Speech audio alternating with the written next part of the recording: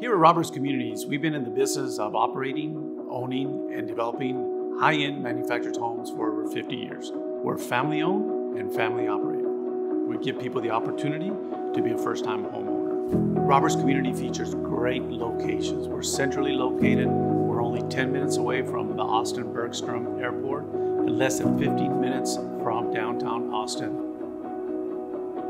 We design our homes for long term home ownership.